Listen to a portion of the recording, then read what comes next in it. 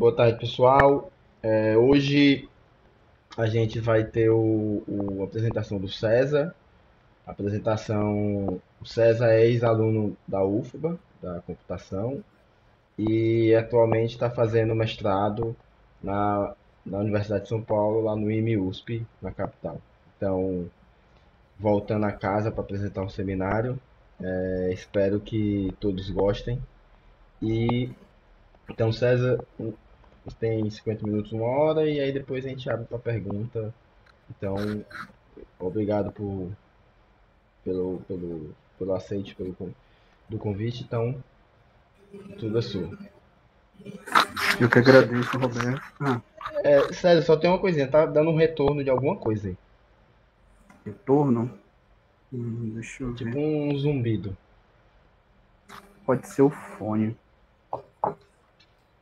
Tá, mas enfim. Vida que segue. É, então, obrigado, Roberto. Boa tarde a todos. É, hoje eu vou apresentar esse trabalho que a gente colocou o seminário com o nome Problema de Densidade Local de Erros em Grafos livres de Triângulo. E referente a esse artigo que está abaixo, então, The Local Density Problem for Graphs of Give on eh, GUF, que são eh, um problema em, grafos de cintura ímpar alta.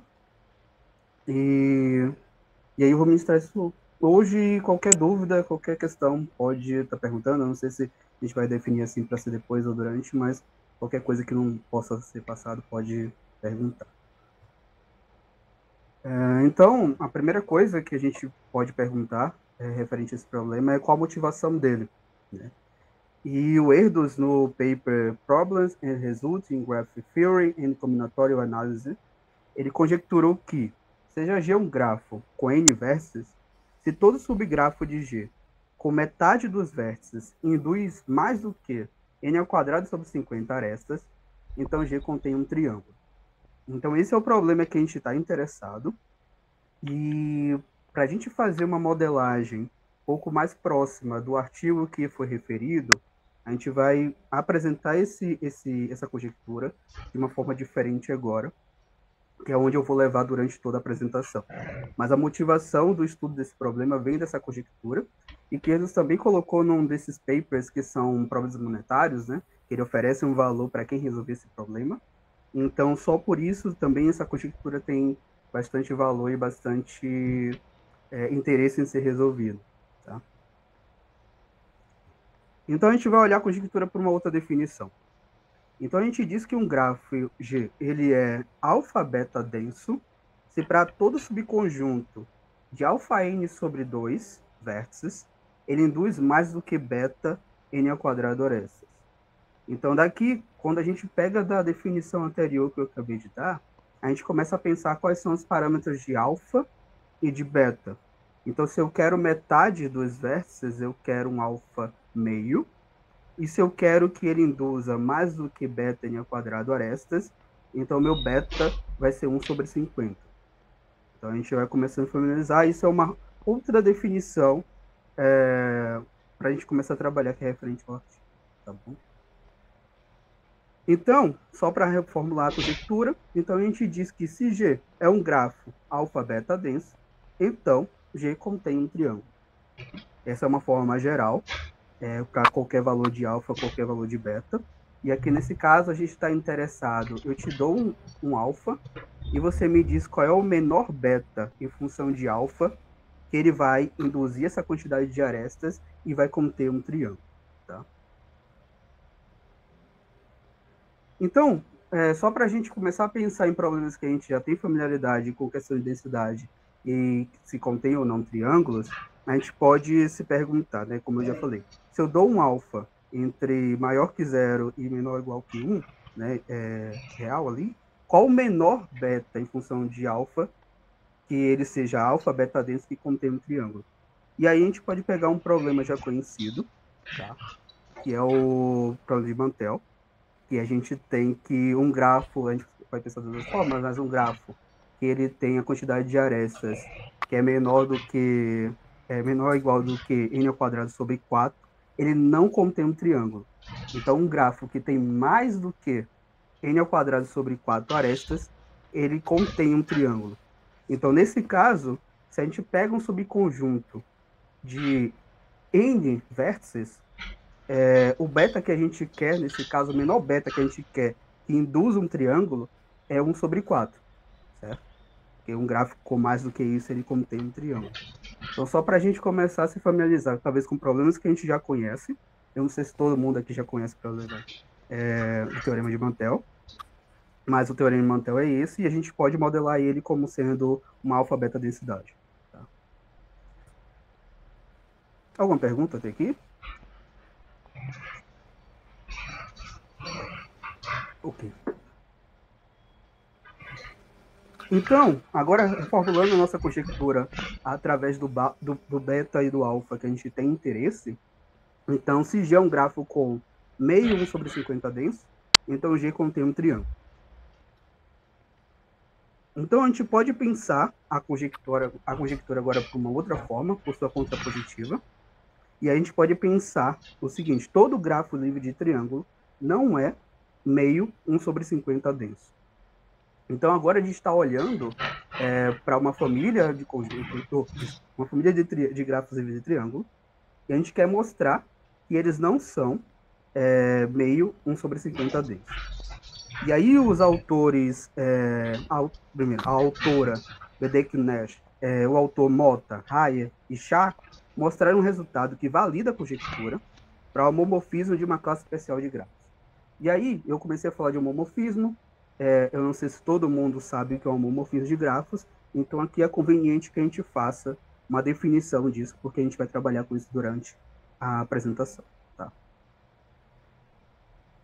Então a gente diz que o homomorfismo de grafos aqui é uma função φ que leva de G em F, com propriedade que, para toda aresta que eu tenho em G, é, ela existe somente se a φ de, de x, a φ de y, pertence as arestas de F.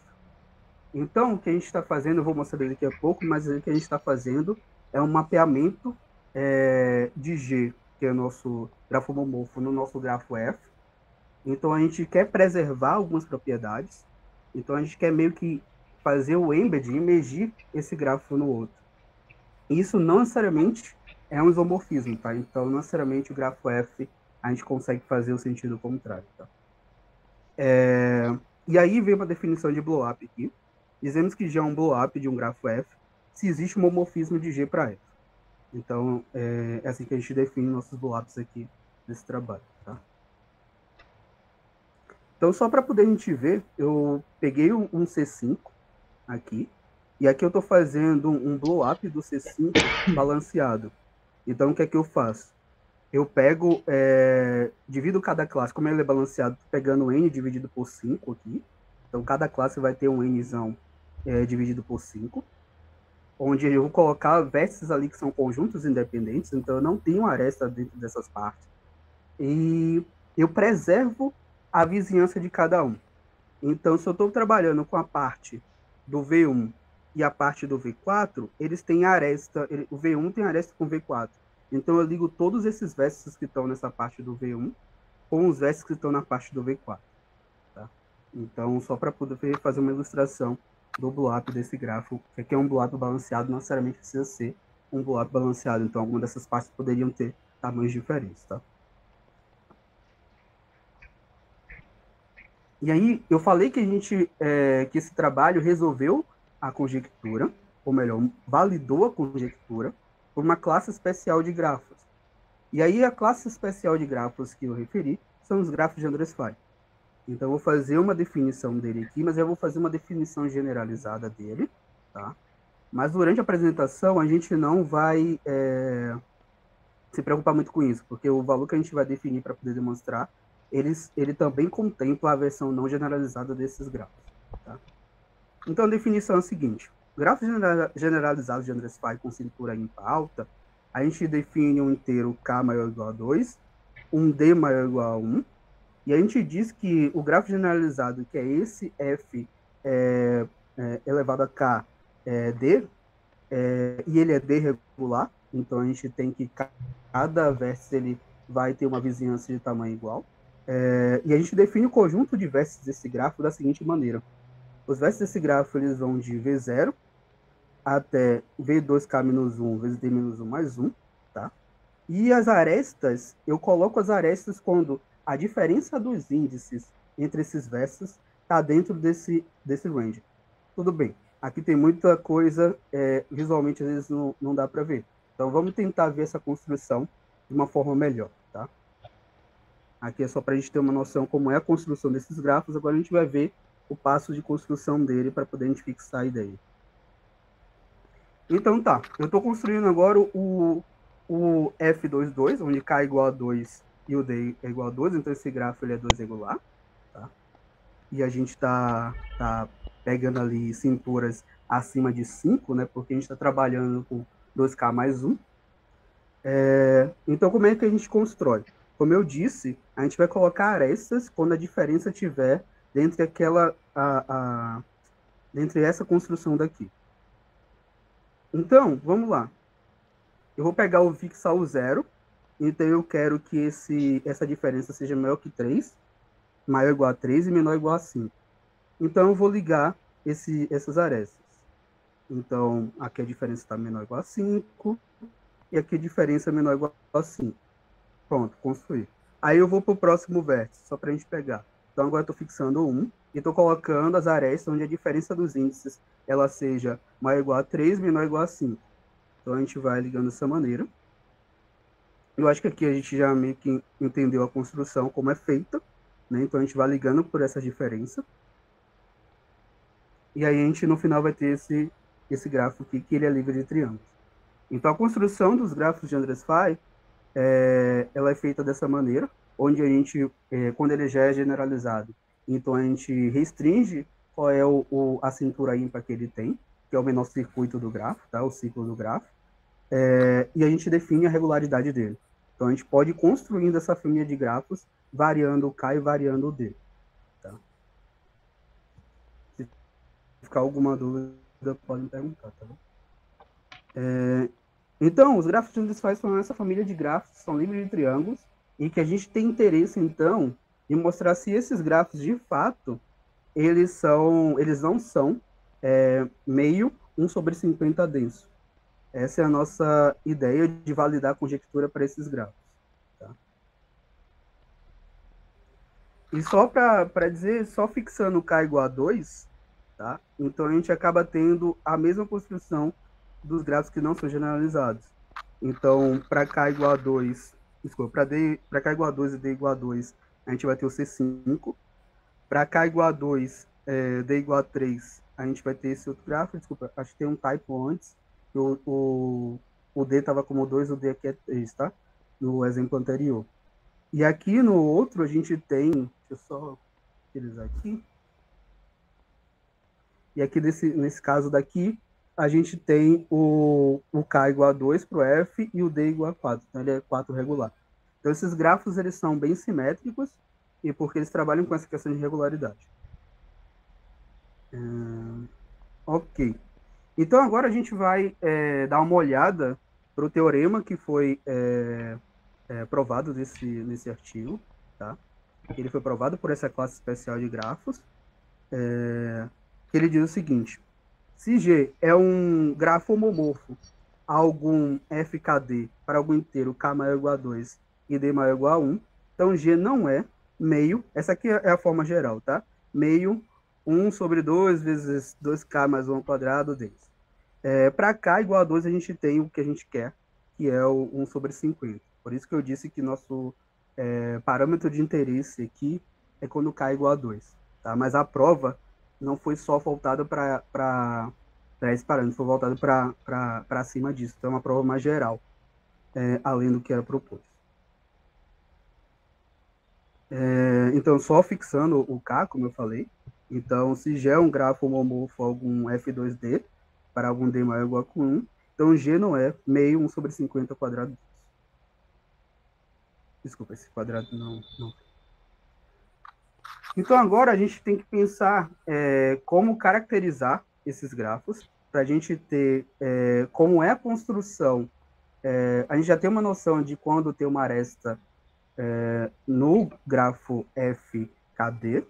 Então a gente precisa olhar para o homomorfismo dele e entender como é que tem as arestas desse grafo e entender é, a questão de quantidade de vértices desse grafo.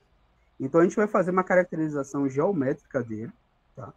Então a gente vai ter um G que é homomorfo a esse grafo. A ideia é que a gente vai trabalhar com círculo unitário, tá?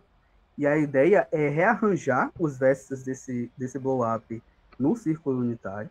Eu vou mostrar mais, mais à frente isso.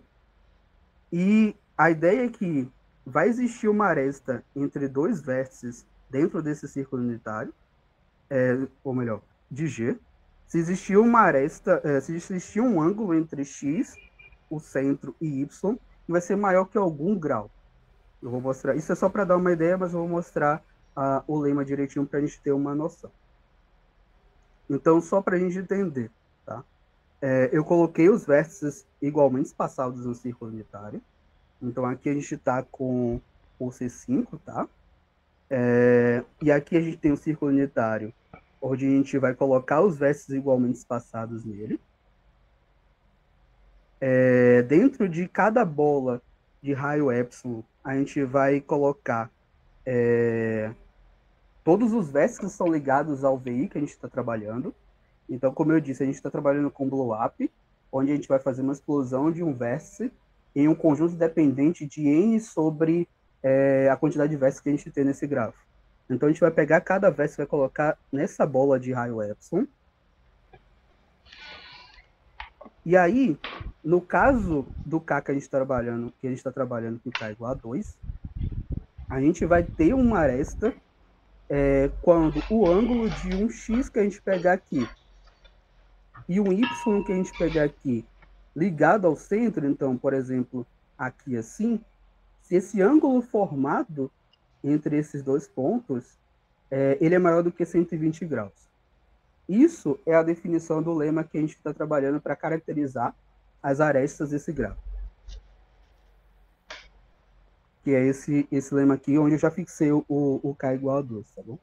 Então, o que a gente está dizendo é, se G é um blow-up do F2D para algum D maior ou igual que 1, então os vértices de G podem ser rearranjados no círculo unitário, então vou arranjar eles de forma é, a estarem bem espaçados, igualmente espaçados, é, e aí eu vou olhar para a... vai existir uma aresta nesse blow-up se só se quando eu pego X a origem y, o ângulo que eu formo ali no círculo unitário, ele é maior do que 120.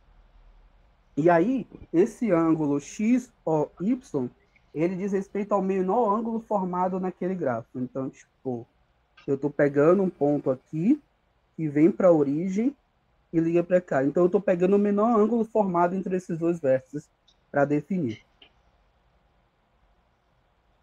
Se ficar alguma dúvida, é porque realmente é, é, quando a gente olha pela primeira vez essa questão de característica geométrica, a gente vai olhar esses grafos é, imergidos dentro do círculo unitário, às vezes realmente causam uma, uma dificuldade de interpretação no primeiro momento. Tá? Mas a, a, eu vou tentar fazer as coisas muito mais é, visuais aqui para a gente pegar melhor a ideia. Então, o que a gente tem aqui agora é que se a gente sabe que existe uma aresta, se o ângulo entre esses dois pontos é maior do que 120, para o nosso caso, K igual a 2. Então a gente já tem essa informação. Eu não vou provar esse lema, eu vou só utilizar ele, tá? Para poder a gente conseguir é, avançar e chegar à prova da proposição 3.1, que é o objetivo dessa apresentação. É, mas a, a, ideia é realmente passar uma ideia desses anos para não ficar é, voando mais para frente, tá bom? Então, agora que a gente sabe quando é que eu tenho uma aresta é, entre dois vértices desse blow-up é, emergindo no círculo unitário, a ideia agora é que a gente consiga estimar a quantidade de vértices no intervalo do círculo unitário. Então, eu quero olhar para o círculo unitário, é, olhar para a representação geométrica desse blow-up e conseguir pegar um intervalo e dizer quantos vértices eu tenho ali dentro. E para isso a gente precisa definir algumas coisinhas, tá? Então, se eu pego um intervalo no círculo unitário, a quantidade de vértices que eu tenho lá dentro, ela vai ser definida por esse lambda e o intervalo que eu estou pegando. Aqui o intervalo é o i, então lambda i define a quantidade de vértices que eu tenho dentro desse intervalo. Ver aqui é o conjunto de vértices desse, do grafo G. E o nosso caso de interesse, né, porque a gente está pensando em pegar o quê? Subconjuntos de tamanho metade dos vértices. Então, para o nosso caso de interesse, que é n sobre 2, a gente vai definir também uma representação, só para a gente não ficar escrevendo isso o tempo todo, né? Então, a gente precisa de uma representação para esses intervalos que tem metade dos vértices. Então, para todo ponto no círculo unitário que se eu vou definir como z que se sendo um vértice, onde o intervalo de que se a z que se ele tem metade dos vértices. Então, toda vez que eu, eu trabalhar com essa informação aqui, que é o lambda desse intervalo que z que se, esse intervalo tem metade dos vértices. Isso vai ser muito útil quando a gente estiver contando é, algumas informações é, de tamanho de, de intervalo e, e, por aí. Então vamos para o lema. Esse lema, quando você vê tudo assim, realmente dá um, um, um, choque. E eu não vou provar ele também, né? Como eu disse, eu vou focar na prova da, da, da proposição 3.1. É, mas o que esse lema está dizendo basicamente é o seguinte: eu te dou um, tamanho de intervalo, e eu quero saber a quantidade de vértices que eu tenho dentro daquele intervalo. Então, o que esse lema está dizendo é, se eu tenho um intervalo de comprimento no máximo k-1 sobre 2k-1, o nosso caso de interesse aqui, que é o, o k igual a 2, a gente vai estar trabalhando com 1 sobre 3, né? Então, a quantidade de vértices que eu tenho nesse esse intervalo, na verdade, quando eu olho para os vértices, ele é um conjunto independente em G, e a quantidade de vértices que eu tenho lá dentro ela é menor ou igual do que alfa de G, que é o tamanho é, do conjunto dependente máximo do grafo, tá?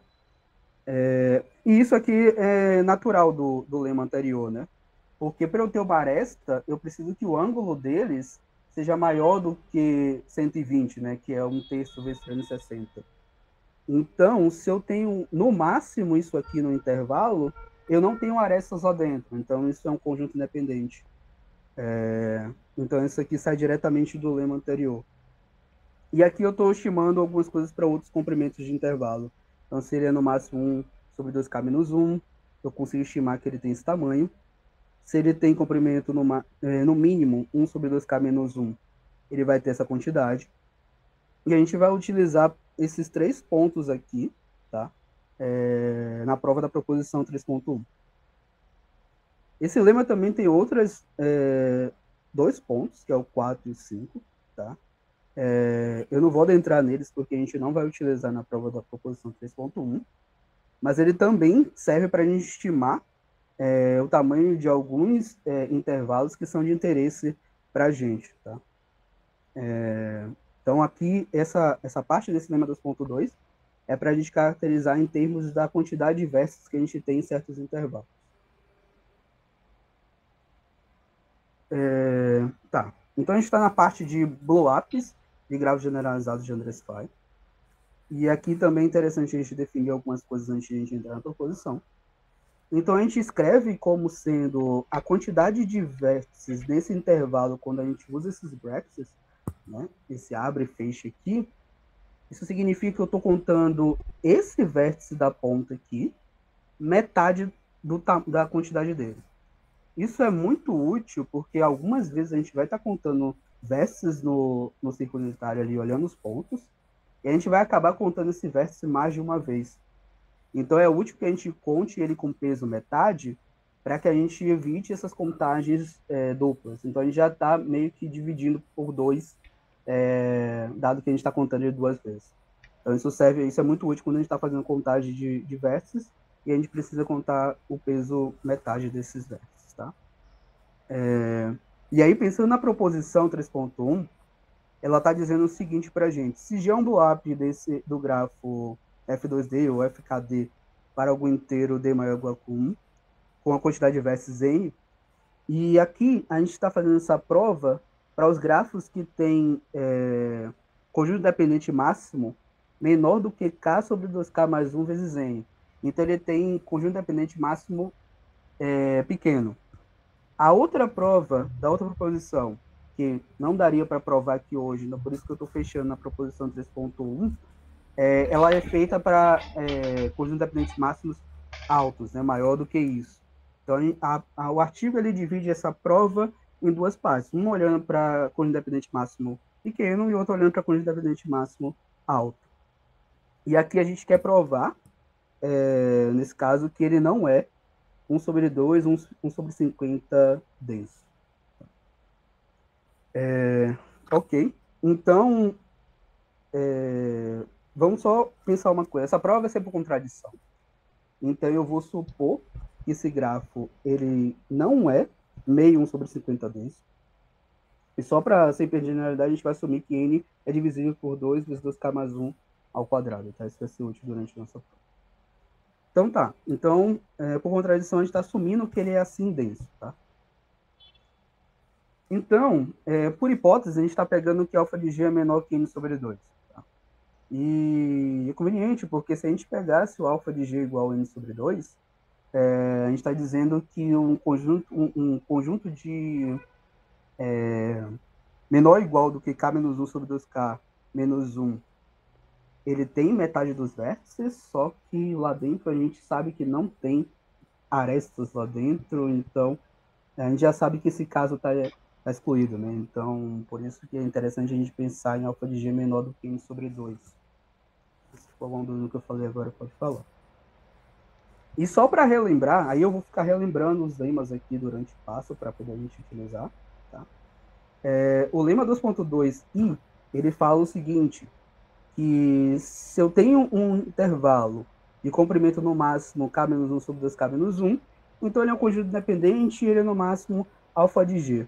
E a gente sabe que alfa de g é menor do que n sobre 2, então a gente está dizendo que esse intervalo é menor do que n sobre 2. Então é isso que a gente está dizendo aqui. Esse intervalo, eu estou fixando aqui um ponto, tá? Que é o zero. Então esse intervalo vai até k menos 1 sobre 2k menos 1, então é no máximo isso. E ele é menor do que n sobre 2, tá? É... A gente pode pensar analogamente, tá? É, que esse intervalo da, do zero é, olhando por K, tá? É, menos K sobre 2K menos 1, ele também é no máximo K menos 1 sobre 2K menos 1. É só pensar que é 1 menos isso e a gente vai ter o K menos 1 sobre 2K menos 1. Então esse intervalo daqui ele também é menor do que N sobre 2. É, ok. Então o que, é que a gente conclui disso é que eu fixando o zero e fixando o Z0, eu sei que esse intervalo ele tem N sobre 2, né?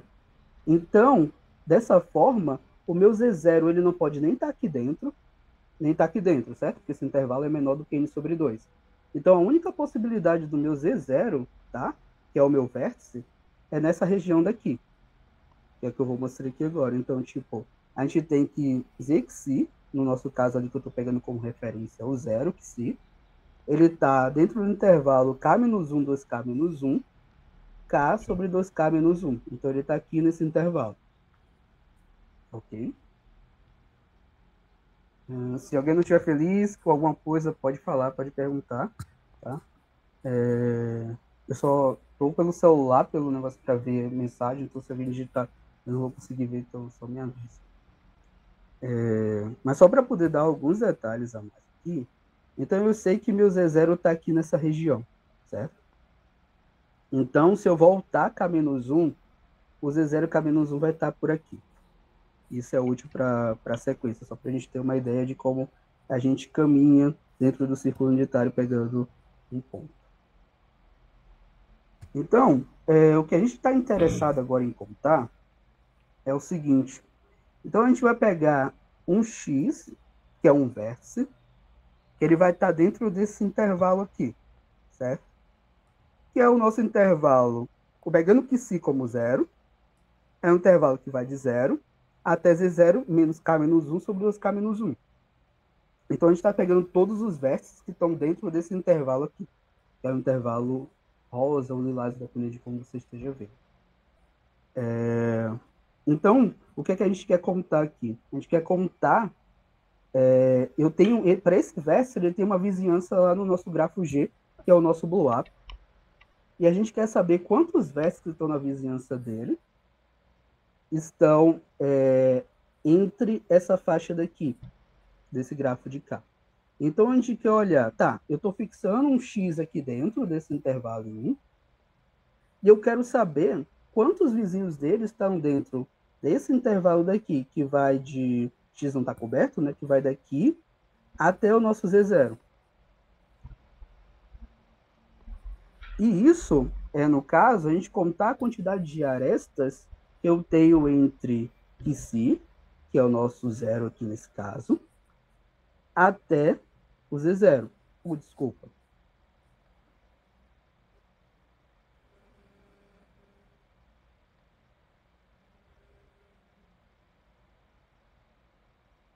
Só para constar, vocês estão me ouvindo? Sim. Estamos ah, sim. sim. Beleza. É... Então, olhar essa vizinhança aqui é contar a quantidade de arestas que eu tenho. Por quê?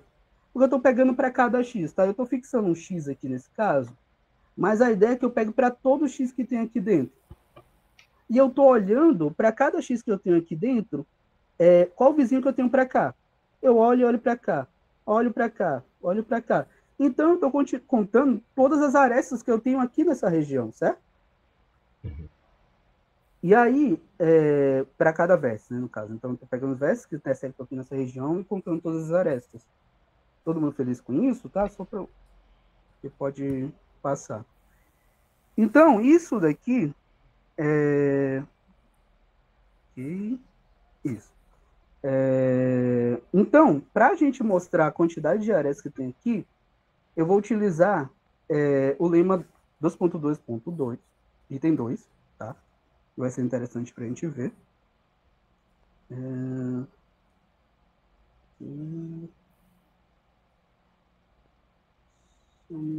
Desculpa. Não, desculpa. desculpa. É, então, é, essa quantidade de versos que eu tenho aqui, ela é igual à quantidade de arestas que eu tenho cá, tá? Só para poder finalizar, acabei pulando uma questão. Então, até aqui a gente tem uma estimativa, então, desses versos. Eu sei que a quantidade de versos que eu tenho é, para cada verso aqui, essa vizinhança aqui, é igual à quantidade de arestas que eu tenho aqui dentro.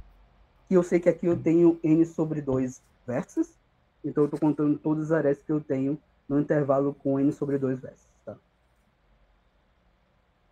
Ah, ok, então a gente tem essa informação. Então agora é conveniente eu falar sobre o lema é, 2.2 item 2. Ele diz o seguinte, se eu tenho um intervalo de comprimento no máximo isso, então a quantidade de versos que eu tenho nesse intervalo é dessa forma aqui. Eu sei que a gente não provou isso, mas a gente vai utilizar essa informação. E aí o que eu estou interessado agora é pensar nesses intervalos que dado um x que eu fixei aqui, nessa, nesse intervalo aqui, é, eu quero estimar quanto é x mais k menos 1, então eu estou aqui nessa região, é, até x mais k 2k menos 1. Tá? Pensando de novo sobre os nossos valores de k, Aqui eu estou pensando no x mais um terço e x mais é, dois terços, tá? Se a gente fixar o nosso valor de k. Então, eu estou querendo saber agora quantos, é, quantas vértices eu tenho dentro desse intervalo aqui. E aí a gente vai utilizar também para provar isso, é, utilizando a nossa hipótese, tá? Que o alfa de g é menor do que esse valor. Uh, então vamos lá. Então eu quero contar a quantidade de vértices que eu tenho nesse intervalo daqui. É conveniente a gente pensar aqui nesse primeiro momento que eu não quero contar duas vezes esses vértices da ponta, tá? Então por isso que eu estou usando esses brackets aqui, para exatamente contar eles com peso metade. Porque eu vou eu estou fazendo isso para um x fixo, tá? Mas na verdade, é, eu vou querer contar isso para todo o x que eu tenho dentro do intervalo de referência. Então, possivelmente, eu vou passar mais de uma vez nesse verso. Então, por isso que é interessante a gente estimar a quantidade de versos dentro desse intervalo, já pensando em contar os versos da ponta com peso metade. E isso é, é menor ou igual do que olhar ele sem contar metade, tá? E aí, como esse intervalo daqui é, K-1 sobre os K-1, melhor, isso. e menos k sobre 2k menos 1, ele tem tamanho é, 1 sobre 2k menos 1, então ele bate com o nosso, nosso lema do item 2, tá? Porque ele tem no máximo 1 sobre 2k menos 1. Então a gente pode concluir que a quantidade de, de vértices que eu tenho é, dentro desse intervalo é essa. E resolvendo isso, a gente tem essa igualdade aqui? 2 sobre 2k mais 1 é, vezes n. Então agora a gente consegue, é, para cada x que eu fixo, só voltar aqui, para cada x que eu fixo dentro desse intervalo aqui, eu consigo estimar a quantidade de arestas que eu tenho do lado de cá. Isso para um x fixo. Então, qual é a ideia agora? Então, vamos contar para todo x que eu tenho ali, a quantidade de vértices que eu tenho naquele outro intervalo. Então, é isso. Então, para todo vértice do gráfico, melhor dizendo, não é só para aquela parte, mas eu vou contar para todo vértice do gráfico. É... Ah, tá. E, e, bom, é conveniente, então, agora eu contar o restante, né? Eu, eu sei estimar essa parte daqui, então agora eu quero contar o restante. É, então isso vai ser pensar desse intervalo até aqui, fixando em x, e de x até essa parte de cá. Então é o somatório desses dois, da quantidade de vértices dentro desses dois intervalos. Aqui está menos k menos 1 sobre 2k menos 1, e aqui está x mais k sobre 2k menos 1, mas é, pensando aqui é, por simetria, esses caras são iguais, né? Vai ser exatamente eu vim daqui até cá. É... Então vamos contar a quantidade de vértices que eu tenho nessa outra parte daqui, que é o que eu estou interessado agora. É... Então tá, deixa eu só. Acho que é melhor aqui nessa imagem para a gente pensar. Então, se eu quero contar quanto tem aqui nessa parte, eu posso pensar quanto eu tenho no todo e tirar essa parte que eu já sei contar, certo? A, a técnica basicamente é sempre essa é, utilizar o que eu já sei para contar outra coisa. É o que a gente vai fazer durante até o final. Então, é, esse somatório aqui para todo vértice, ele é igual a somar para todos os vértices do gráfico, certo? Eu estou fixando um e caminhando para frente. É, desculpa, deveria ter uma vírgula aqui, um. Uhum.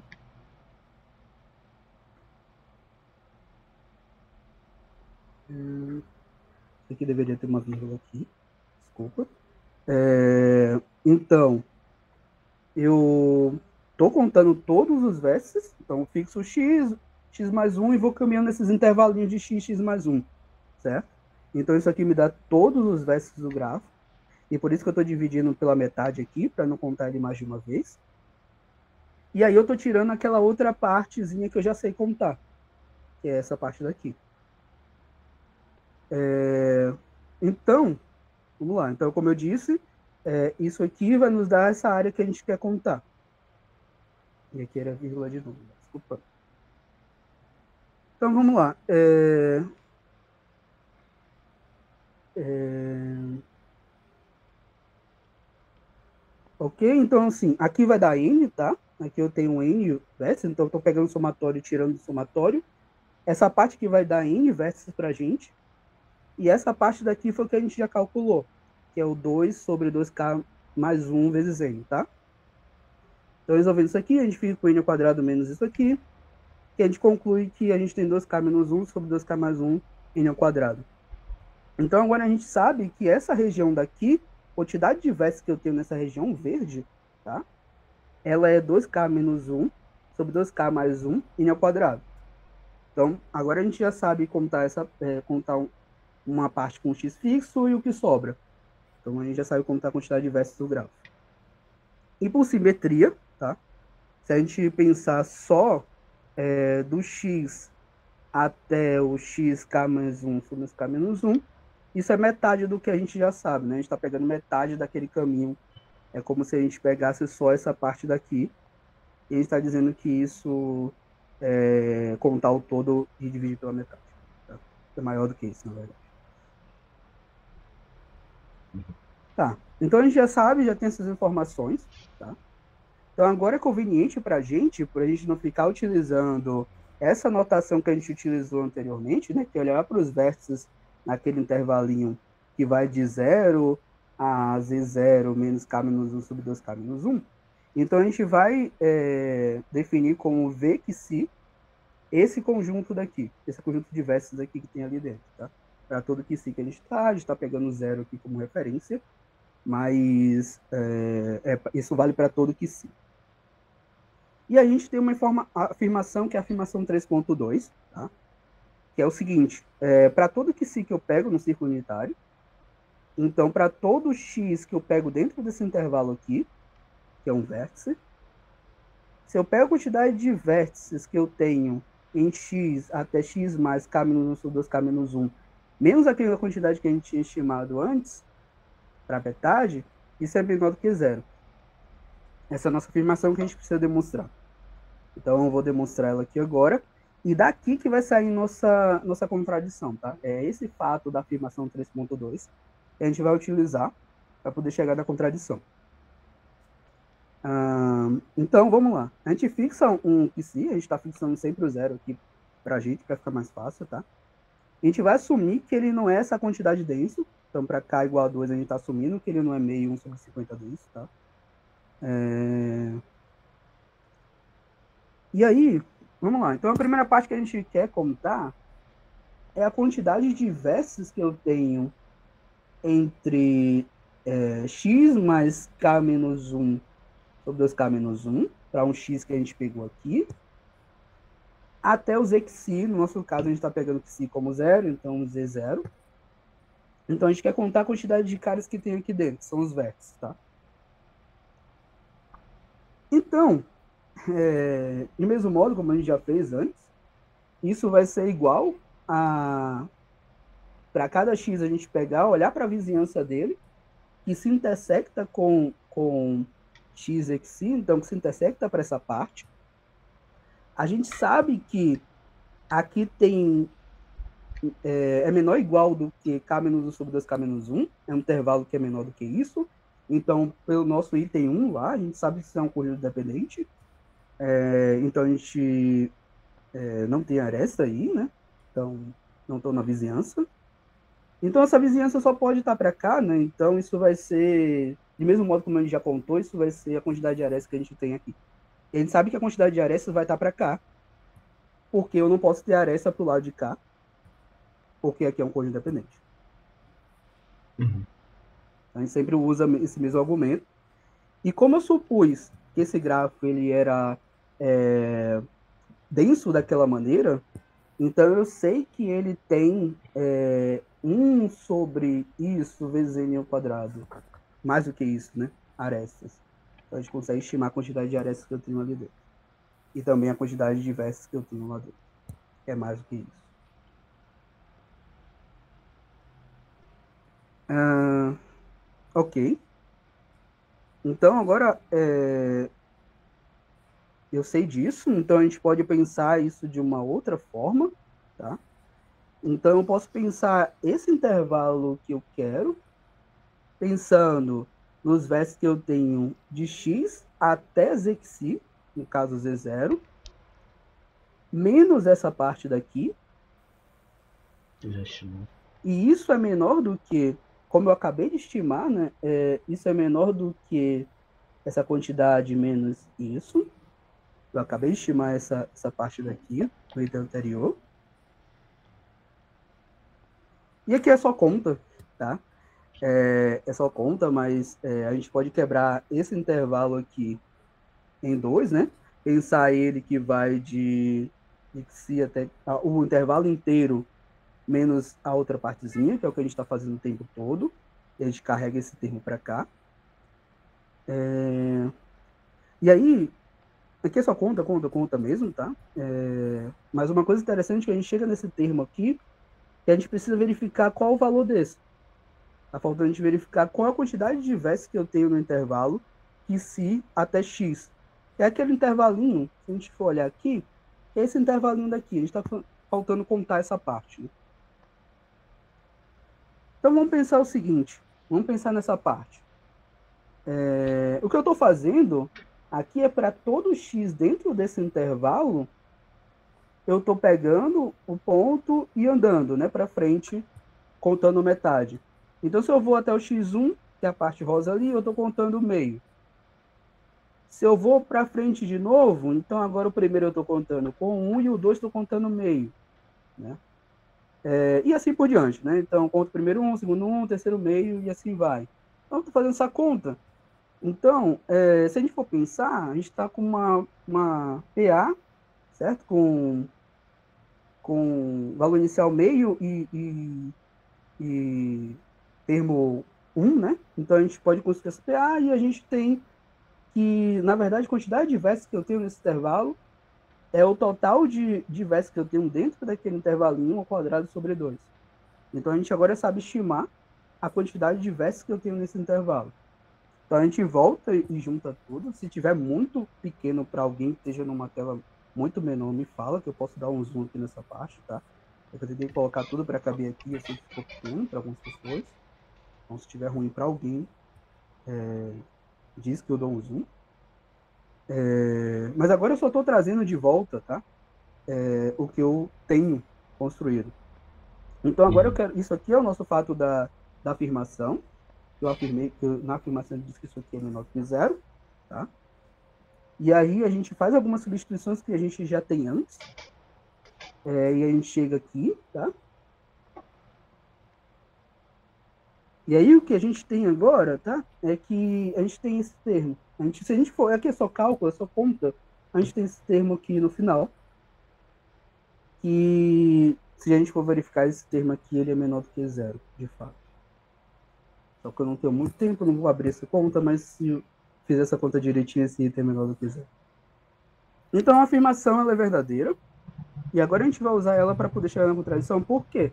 Porque durante a prova dessa afirmação, eu usei o fato de que esse grafo ele era denso daquela maneira que, que, eu já falei.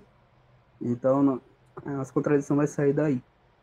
Então, se eu só definir mais uma coisa, só para poder a gente diminuir um pouco da carga da coisa de notação, é, então a gente vai definir esse conjunto de vértices estrela, tá? Ah, vai desculpando aqui. É, é, então, a gente tem esse conjunto, então a gente está pegando os pontos do, do círculo unitário, de modo que quando eu pego esse ponto e caminho K-1 sobre 2 K-1, eu caio num vértice. Então eu estou pegando o conjunto dos pontos que, quando eu caminho essa quantidade, eu tenho um vértice lá. Uh, e aí, a gente, iniciando com um x0 arbitrário dentro desse conjunto, então x0 é um ponto, tá? A gente vai definir uma sequência recursiva de V estrela, ela é dessa, dessa seguinte maneira. Eu tenho um xi mais 1, que ele é o z é, xi menos k menos 1 dos k menos 1 para qualquer i natural. O que, é que isso quer dizer? A gente pode dar uma olhada aqui. Então, comecei com o meu x0 arbitrário, que normalmente é sempre o nosso é, zero. Então, eu caminho x0 mais k menos 1 sobre 2k menos 1. Então, por nossa definição, o x1 ele vai ser o zx0 menos k menos 1 sobre 2k menos 1. E aí, é, da mesma forma, eu caminho mais k menos 1, eu tenho x1 mais k menos 1 sobre 2k menos 1. E a gente vai construindo isso dessa maneira. Então, a, a construção desses itens é feita assim. Então, isso é o, o visual daquilo que a gente tinha falado antes. Tá? E aí, como ver é um conjunto finito e eventualmente essa sequência vai ser periódica, então para um x0 escolhido, a gente vai ter um xm igual um x0 para algum m maior ou igual a 2, ou seja, a gente vai rodar e vai cair de novo no mesmo termo, né? É, e a gente vai denotar também por W, que é um natural, o número de vezes que a gente gira ao redor do círculo unitário que cai com x0 igual a xm, por nossa construção. É... Ok. Então, vamos lá. É... Pela afirmação 3.2, a gente sabe que isso aqui é menor do que zero, tá? Porque a gente está pegando, contando a quantidade de, de vértices aqui, menos aqui. Então, isso bate com a nossa afirmação 3.2. A gente está contando para cada um deles, para cada vértice, né, para todos os vértices. É, e pela nossa afirmação, isso aqui é menor do que zero. Ok. Vamos contar de outra forma, né? Vamos olhar isso por outro lado. É... Então eu quero contar a quantidade de versos que eu tenho aqui. Ou melhor, eu quero contar isso, né? Então a quantidade de versos menos isso. Isso aqui é... vai ser igual a contar para todos os vértices vezes a quantidade de vezes que eu rodo no círculo unitário, onde ele chega no xn igual a x0. E aí, isso aqui a gente já sabe quanto é, né? Porque isso aqui a gente acabou de calcular. Então, isso aqui é W vezes essa quantidade menos essa quantidade. E isso aqui a gente sabe que é igual a zero. Só que, pela nossa afirmação, esse valor é menor do que zero. Ele está dizendo que ele é maior do que zero. Então, a gente chega numa contradição. Então, portanto, como eu assumi que G ele não era denso dessa maneira, para chegar ali, então, é, de fato, ou melhor, que ele era, desculpa, denso dessa maneira, para chegar na, na, conclusão. Então, a gente conclui que ele não é meio 1 sobre 50 denso, no caso K igual a 2. Então, isso a gente prova que a proposição 3.1 ela é verdadeira. E o que a proposição 3.1 diz? Para um, um blow-up desse grafo é, generalizado de Andres Phi, com aqueles parâmetros, é, alfa de G maior do que K sobre 2K mais 1 vezes N, ele não é, é denso dessa maneira. Tá? Então, é, acho que eu corri um pouco, acho que ainda tinha uns 8 minutos aqui pela contagem tá? Mas a ideia é basicamente essa. A outra proposição nem coloquei aqui, mas a outra proposição, como eu disse, ela está pensando é, nos grafos que tem conjunto independente máximo maior do que esse valor. A prova é um pouco diferente, então por isso que eu, eu demoraria mais tempo, né? não conseguiria fazer essa prova em sete minutos. É, mas a ideia é essa.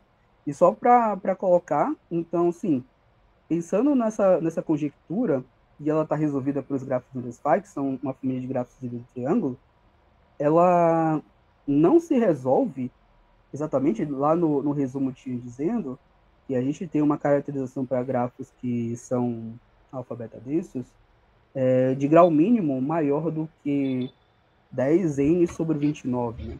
E a gente tem grafos de triângulo que fere essa caracterização. Então, por isso que a gente não consegue cobrir todos os gráficos de triângulo é, com os gráficos de Andrés Fag. Então, a gente precisaria provar para esse restante desses grafos. E, por sorte, existe uma família de grafos, que são os gigagraphs, que consegue cobrir essa outra parte. E aí, assim, a conjectura estaria definida, é, desculpa, provada, que seria válido para esses grafos. Porém, isso ainda não, não foi possível então tem essa, essa parte da conjectura em aberto ainda. Mas é basicamente isso. Sei que eu fui um pouco rápido, mas é porque o assunto é denso e eu precisava cobrir dentro do tempo. Mas obrigado.